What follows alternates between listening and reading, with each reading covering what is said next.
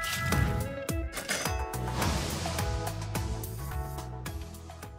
students welcome to the channel मेरा school आज हम क्लास ट्वेल्व का चैप्टर वन स्टार्ट करने जा रहे हैं, जिसमें एक्सरसाइज वन वन है।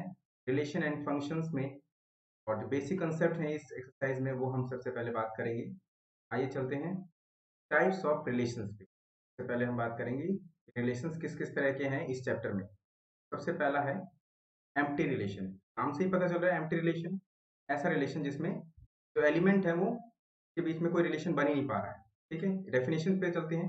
A relation R in A set called empty relation if no element of A is relate to any element of A यानी जो ए से ए का रिलेशन वो कुछ नहीं होगा। यहाँ पे आर को दिखाइए, दिखाया गया है five subset of A to A आइए एग्जांपल से समझते हैं एग्ज़ाम्पल में देखिए let A be the set of all students of boys school यहाँ ध्यान दीजिए बॉयज़ स्कूल है। ठीक है? The relation R in A given by R is 8B such that A is sister of B. तो क्या ये पॉसिबल है कि बॉय स्कूल में बॉय है, वो दूसरे बॉय का सिस्टर हो जाए? ऐसा पॉसिबल ही नहीं है। तो ये रिलेशन क्या कहलाएगा? एम्प्टी रिलेशन ठीक है? इस तरह के जो भी रिलेशन बनेंगे वो एम्प्टी होंगे। यानी इसमें कोई लाई नहीं करेगा। ये इस रिलेशन को हम बोलेंगे एम्प्टी रिलेशन आइए पढ़ते हैं आगे।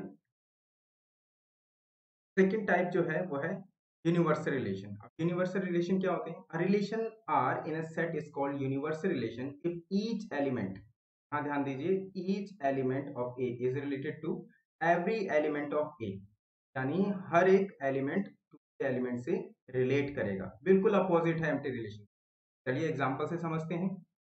Example let A with the set of all students of boys school वही हमने एग्जांपल लिया है बॉयज़ स्कूल का। The relation R in a given by R is, A is the difference between the heights of A and B is less than the 3 meters. ध्यान दीजिए, अगर A और B दो स्टूडेंट्स हैं तो ज़ाहिर सी बात है इनके बीच में हाइट का डिफरेंस कभी भी अगर हम स्कूल में देखेंगे, तीन मीटर बहुत ज़्यादा हाइट होती है, ठीक है? तो इतना डिफरेंस दो बच्चों के बीच में कभी हो ही नहीं सकता। ये अगर हम फ़र्स्ट क्लास का बच्चा भी ले लें और ट्वेल्थ क्लास का बच्चा भी ले लें तो भी तीन मीटर का डिफरेंस उनके बीच में नहीं हो सकता। यानी ये सारी, ये जो कंडीशन है, हर बच्चे के साथ फुलफिल होगी। ये ये पूरी तरह से ए और बी से रिलेटेड होगा। तो हम इसको कह सकते हैं यूनिवर्सल रिलेशन फिर से मैं बता देता हूँ यूनिवर्सल इसलिए है क्योंकि ये स्टेट यह रिलेशन हर एक बच्चे का दूसरे बच्चे के साथ सेटिस्फाई करेगा, क्योंकि किसी दो बच्चों के बीच में तीन मीटर से ज़्यादा डिफरेंस हो ही नहीं सकता। हाइट का डिफरेंस नहीं हो सकता। कम ही होगा। इसलिए ये यूनिवर्सल रिलेशन है। चलिए बढ़ते हैं नेक्स्ट पर।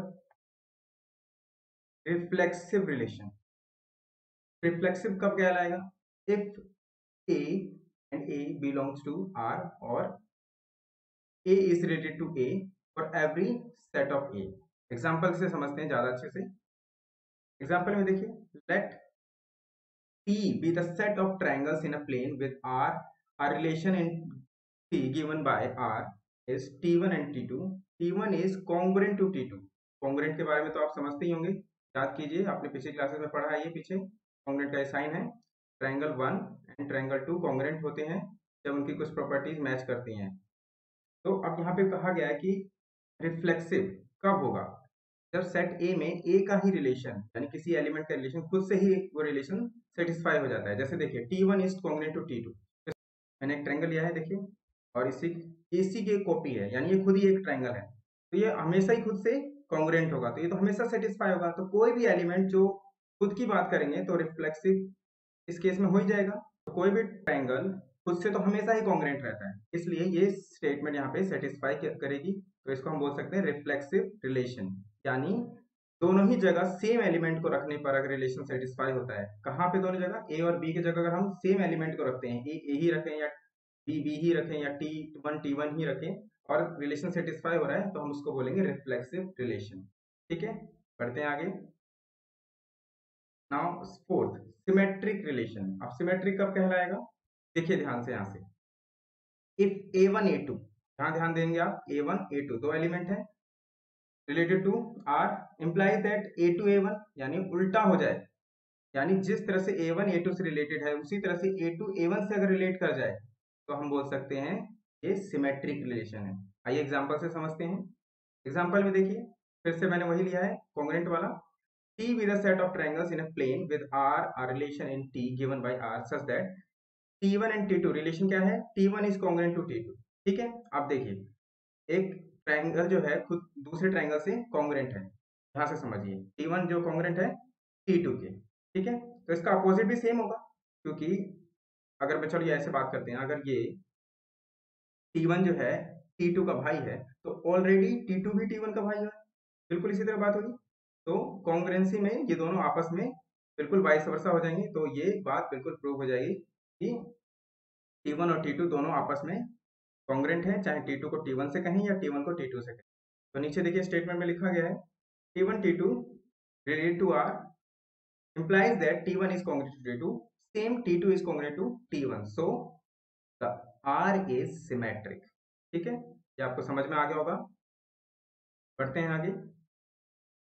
Next is transitive transitive relation कब होगा? जब a1 a2 रिलेटेड है। A2 a3 भी उसी तरह से रिलेटेड है। तो a1 a3 भी रिलेटेड होने चाहिए इस कंडीशन में। ये आपको याद होगा, छोटी क्लासेस में एक एसोसिएटिव लॉ आपने पढ़ा होगा। ठीक है? तो वही लॉ एक तरह से है। जैसे ए बी आपस में रिलेटेड है बी सी आपस में रिलेटेड है तो ए सी भी रिलेटेड होने चाहिए। अगर ये कंडीशन बनती है, तब आप कह सकते हैं कि ये रिलेशन ट्रांजिटिव है। आइए एग्ज़ाम्पल से समझते हैं। एग्ज़ाम्पल देखिए, यहाँ पे फिर से मैंने वही कॉन्ग्रेंसी वाला ही लिया है।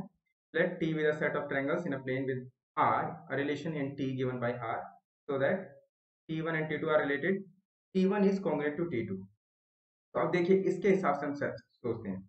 अगर T one T two congruent T one T two के कॉन्ग्रेंट है, और टी टू टी थ्री से कॉन्ग्रेंट है। तो ये देखिए टी वन टी टू से कॉन्ग्रेंट है, और इसी तरह से टी टू टी थ्री से कॉन्ग्रेंट है, ठीक है? तो ऑटोमेटिकली देखेंगे आप कि टी वन टी थ्री भी कॉन्ग्रेंट हो जाएँगे। हो गया? इस तरह के रिलेशन को हम क्या बोलेंगे? ट्रांजिटिव रिलेशन ठीक है? ये भाई वाली एग्जांपल इसमें आप ले सकते हैं। जैसे मान लीजिए यहाँ पे मैं लिखता हूँ, जैसे A B C. A, B का भाई है और बी, सी का भाई है। ऑटोमेटिकली सी ए का भाई होगा, है ना? तो इसी कंडीशन को प्रूव कर रहा है ये। इस तरह की कंडीशन जब भी बनेगी तो आप समझ जाएँगे ये ट्रांजिटिव रिलेशन है, ठीक है? नेक्स्ट इज़ इक्विवेलेंस रिलेशन अब इक्विवेलेंस रिलेशन तब बनता है? जब इसमें तीन ये शर्तें होंगी। क्या क्या देखिए। A relation R in a set called if R is reflexive, symmetric and transitive. अगर कोई रिलेशन रिफ्लेक्सिव भी है सिमेट्रिक भी है और ट्रांजिटिव भी है तब वो इक्विवेलेंस रिलेशन बनेगा। तो जैसे हमने पीछे एग्जांपल में देखा कॉन्ग्रेंसी वाला वही फॉलो उस तरह के एग्जांपल्स हो सकते हैं जो इक्विवेलेंस रिलेशन हो सकते हैं। देखिए मैंने यहाँ लिया है। Since we have checked in the last slides that R is reflexive symmetric and transitive therefore R is equivalence कौन सा आर ये वाला देखो ये हमने स्टेटमेंट लिया था ना? टी1 कॉन्ग्रेस टू टी2 तो ये इक्वेलेंस रिलेशन है। क्यों क्योंकि इस कंडीशन हमने चेक किया? ये वाला जो आर है, हमारा रिफ्लेक्सिव भी है सिमेट्रिक भी है और ट्रांजिटिव है। तो ये ध्यान रखना है। जब भी आप रिलेशन चेक करेंगे, अगर ये तीनों कंडीशन फुलफिल हो जाती है तो वो इक्विवेलेंस रिलेशन बन जाएगा। तो एक्सरसाइज 1.1 में आपको यही सारे कॉन्सेप्ट मिलेंगे। आई होप आपको समझ में आए होंगे। फिर भी आपको कहीं डाउट है तो आप हमें कमेंट बॉक्स में लिख कर भेजें। हम कोशिश करेंगे जल्द से जल्द आपके डाउट्स को क्लियर करें। मिलते हैं नेक्स्ट वीडियो में। तब तक के लिए धन्यवाद।